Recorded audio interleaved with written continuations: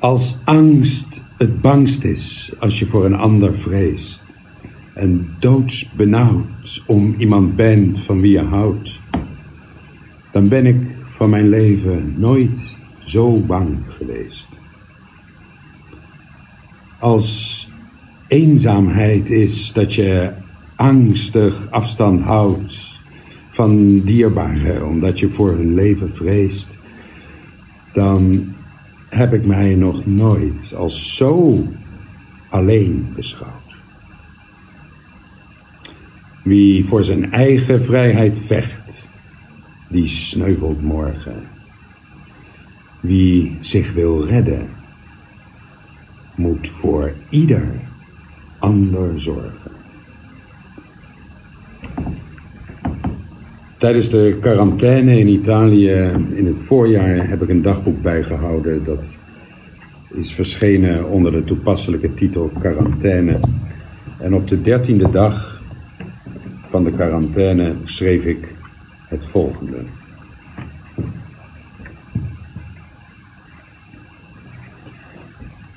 Genua, maandag 23 maart 2020. Hoewel ik op andere plekken in andere tijden meermaals heb geschreven over geloof, hoop en liefde, had ik niet voorzien dat er een dag zou komen waarop de wereld ingekookt zou worden tot niets anders dan deze drie.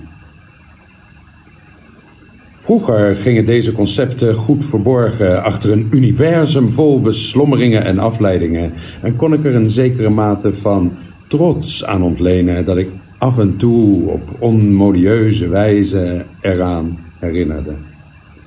In het huidige isolement, in een angstvallig ontsmet huis met uitzicht op de lege straten in een stilgevallen stad, is de façade verkruimeld. En terwijl elk telefoontje een nieuw sterfgeval kan melden, is er simpelweg weinig anders te doen dan je vast te houden aan geloof, hoop liefde. Het geloof van onze vaderen is geëvolueerd in geloof in de wetenschap. Maar dat maakt voor de rillende gelovigen weinig verschil. Mijn missie van vandaag was dat ik medicijnen moest achterlaten op de overloop voor de deur van Stella's moeder. Op de terugweg zag ik dat de kathedraal open was. Ik ging naar binnen. Er zat één man te bidden. Verder was er niemand. Ik ging zitten en keek naar het bronzen Mariabeeld van Stella's beeldhouwer op het hoofdaltaar. Ze was afgebeeld als de koningin van Genua. Engelen zweefden uit de hemel om haar te kronen. Ik kon natuurlijk niet echt gaan zitten bidden, hoewel niemand mij zag. Maar God ziet alles. Het is maar goed dat hij niet bestaat. Ik dacht aan mijn ouders die in Nederland wonen en zij keek naar mij.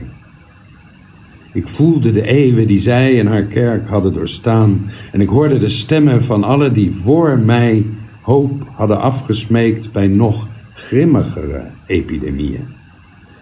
De geschiedenis bood troost.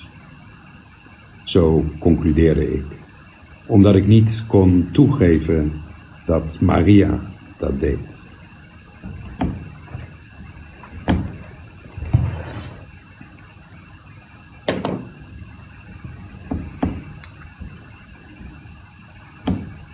Wees geen uitzondering.